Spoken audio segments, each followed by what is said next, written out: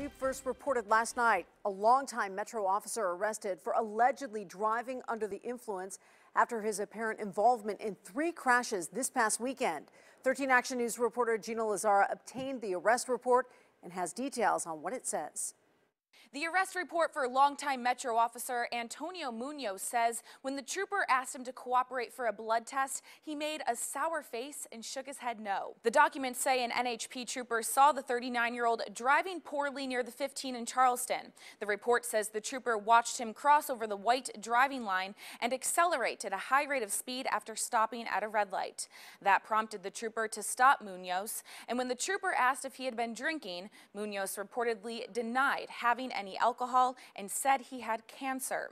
Later in the traffic stop, according to that report, when the trooper noticed damage on Munoz's vehicle, the Metro officer admitted to being in an accident earlier in the evening. The trooper then indicated he discovered the Metro officer was involved in three hit and run accidents. The trooper cited him for 15 violations, including DUI. Munoz's BAC was .12. Gina Lazara, 13 News. Still